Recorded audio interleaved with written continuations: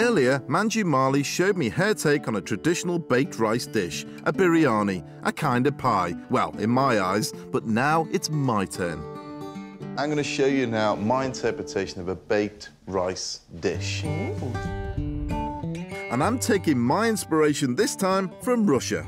And I'm making a coulibiac, a pie wrapped in puff pastry and filled with rice, baked salmon and soft-boiled eggs. And I'm going to give it an extra kick by adding some spices. Over here, I've got some onions which are frying away. Now, this is where I'm going to ask for your help. I want to put some spices in that mm. to give it a little bit of a kick and which you want to sort of grind down.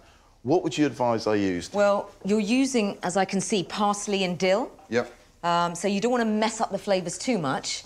So I'd uh, use some uh, basic spice, such okay. as cumin seeds and a bit of coriander. I'll give you your toy. OK. so what are you going to throw in there well, first? What I'm going to add is a bit of cumin, mm -hmm.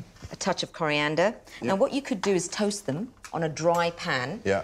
And then grind them up. OK. But uh, you can do this, it's fine. Well, if that's just ground down, I'm going to chuck it in with the onions. Yeah, so I'll yeah, just fry that out slightly. Yeah.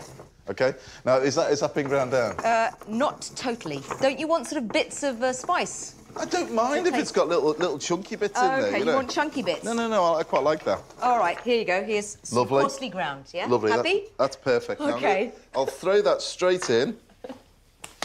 OK, so I've got the onions in there with the spices that Manju's carefully selected, into which I'm going to add some mushrooms. Now, the mushrooms are in there. It's going to release a little bit of water in there as well. Now, all I'm going to do is build up the basic rice dish. On top of that, I'm going to put some salmon, on top of that an egg, and then encrust the whole thing in puff pastry. Now, that would take a couple of minutes. I'll turn the heat down a little bit. And the rice is completely cooked? Yes, now rice is completely cooked. What I'm going to do is just mix it with the mushrooms, the onions, a little bit of zest of lemon. Now, that's going to go inside there with the mushrooms now. That will do. Is this like a salmon en croûte? Type dish? Well, that's all a pie is, really.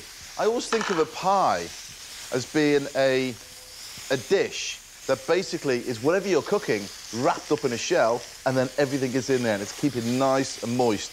Now, if I just turn that heat off now... It's really quick. So once you've got that in there, a little bit of seasoning, and then leave that to cool. It takes about a good half an hour because you can't use the hot mixture going on top of the pastry because the whole point when you're making a pie, you've got to keep your puff pastry nice and cold. That's how you get the laminations in there, that's how you get the steam, and that's why it jumps. Tip the rice mixture into a bowl. Now I'm adding some roughly chopped parsley and dill, but you could use coriander or any of your favourite herbs. Leave to cool before wrapping in puff pastry. I've made mine, but shop board will work too. So this is the base of the coulibiac. I'm just going to stretch slightly. And over there, could you pass me that dish, please? Over here, I have my cooled rice. Yes. So I'm going to get my hands in there. I don't. You can use implements if you want. I like to get my hands in there because I need to shape this. Well, you've washed them, so it's all right. I have. so again, run this down the middle. Keep so it nice filling is completely cold? Yes, the filling is completely... If I was to put warm rice on this, the whole thing about the puff pastry would melt and you wouldn't get that rise. And so the whole idea at this stage is to keep everything as cool as possible. So again, make it nice and neat so you've got a channel running down, right down the middle. Take it close to the end and then square it off like so. That's a good level of rice. The next thing we're going to add to this dish is the salmon. Obviously cooked, and you want to break the pieces off and lay them neatly across the top. Try not to get any down the side. I want to try and build up some layers in this. Finally, top with sliced boiled eggs. Make sure it's nice and neat. Then over here, I've got just basically a beaten egg. Now, this is going to be the sealant for the top.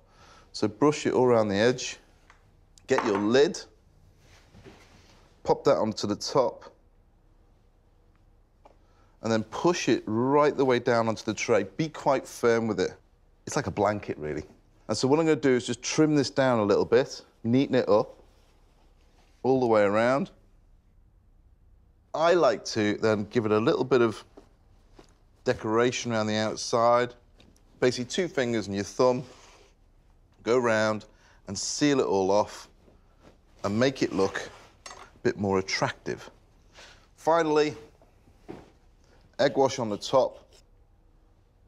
Now, what I tend to do as well, you can, what, what I call double egg washing. So what you can do with this is then pop this in the fridge, leave it for about half an hour for the eggs to set, re-egg wash it, and then using a, the back of a blade, the blunt bit, you just run your knife over the top, and that makes little indentations in the egg, which gives it a nice pat when it comes out the oven. Now, that needs to be baked for about 25 minutes at 180 in the oven. Now, this will go beautiful golden brown. Leave it in there. It'll all puff up and look absolutely gorgeous.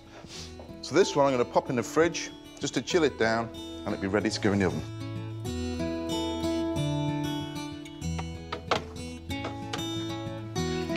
However, I have one in the oven, ready just for you. Thank you. All for me. Oh, wow. Look at that. Wow.